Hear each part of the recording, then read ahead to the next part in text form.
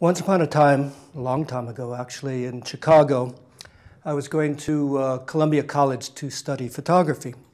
And the first question that the teacher asked was, uh, Who is your inspiration? Um, nobody expected that question, and uh, he gave us books and things to look at the library. And uh, I discovered this photographer, Diane Arbus. I really, you know, um, got into her photographs. It really appealed to me. She captured people who lived on the edge of society, went into their world, and um, somehow just captured who they were.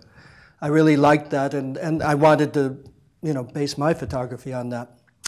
Um, eventually, I moved to New York, not to become a photographer, uh, to actually become an actor. Somehow I changed course, and I went to the uh, American Academy of Dramatic Arts, and uh, it was going well. I, I went to auditions and, and, and, so on for theater. But uh, after a certain point, um, well, let me put it this way. Uh, I was attracted also to going to New York to with the bands, the, the, the, the club scenes and so on, the, the bands playing like Ramones and Blondie at Max's and CBGB's. And, um, well, late nights and early mornings somehow didn't mix. And I met this woman, uh, Alexa Hunter, at one of these auditions, and she's, uh, we had all of this in common. And she took me to this place called Club 57, which was around the corner from where I lived. And uh, it was very special. I mean, it, it, was like really, really special people that were attracted to this place. Because at the time in New York, um, special people went there to do their dream, I feel, uh, because you didn't have to work all the time to pay your rent. You could focus your time on your art, whatever it was.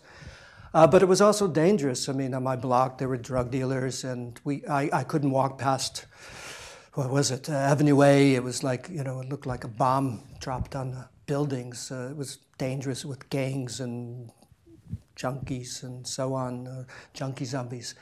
But uh, I, I, I enjoyed it. It was exciting. I mean, sometimes I went to sleep at night, heard gunshots, screams, but you know, it was uh, it was it was fun, and uh, it was an exciting point in my life. Um, Club 57, I found that I could do more there than than the actual school by performing and and, and so on. So I was motivated. Um, to do photography again and, uh, and get back that inspiration that Diane Arbus gave to me. And so I photographed uh, 57 people and did interviews with them as well. I mean, some well known people like Keith Haring, who later became a famous artist, but people who should have been famous, like John Sex and Wendy Wild. There's also Ann Magnuson, who's quite well known. So I was, I was, I was doing this uh, at this club. I mean, every night there'd be something like an art show. Keith did his first art show. He painted on the walls, and the next day it was down. Uh, there were uh, he painted over the walls, and then there were like well-known bands that played there, um, and other people doing very special things. Filmmakers, underground filmmakers, Amos Poe, and many, many, many more. And um, while I was doing um, this uh, book, I met some interesting people along the way. I met uh, Jean-Michel Basquiat when he was doing graffiti on the wall. And uh, I used to take him out for breakfast once a week. It became a, a ritual. And then when I was almost done with the book, uh, a friend of mine worked at the uh, Andy Warhol um, factory, actually, which wasn't far from where I lived. It was uh, a little past 14th Street. I lived on 10th Street.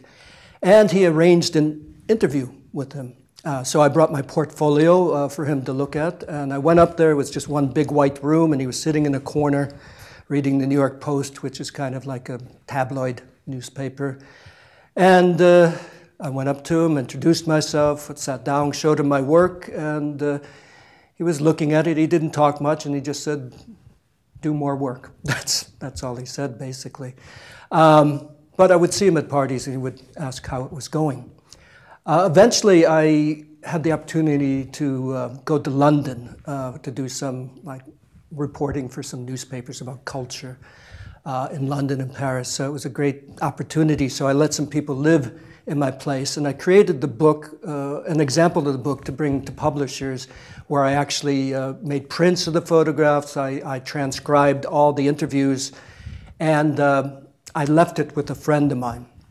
Um, to make a long story short, I came back from London and found out his uh, flat was flooded and he lost everything or it was destroyed of what I gave him, which I wasn't too happy about. I was super angry and I just gave up. I completely gave up on everything. Um, and oh, yeah, by the way, uh, in order to go to London, I had a painting by Keith Haring about this big of an angel, and I sold it. Uh, and now it's probably worth a hmm, couple million dollars. I, I sold it to pay my phone bill for like, I don't know, $150 or something crazy like that. So, um, live and learn. So, uh, fast forward to now, I was approached uh, in Prague, where I live, by a publisher to do a book about my photographs. And I had a better idea to do a book about three cities that I had lived in um, New York, Berlin, Prague, and collect 70 people approximately um, from the various cities to show how they influence the cities and how the cities influence them artists, writers, photographers. And um, we put it together. It took four years to make. And I felt like somehow it, you know, this was the book that didn't happen, but it was much better. And to, you know, to top it off, there was a, uh, an exhibition at the Museum of Modern Art um, in New York uh, about Club 57, and I was very proud to be part of it with uh, quite a few of my photographs. So the, I guess the point of the story is, is just to, you know, be patient and things come around in a circle and that's that.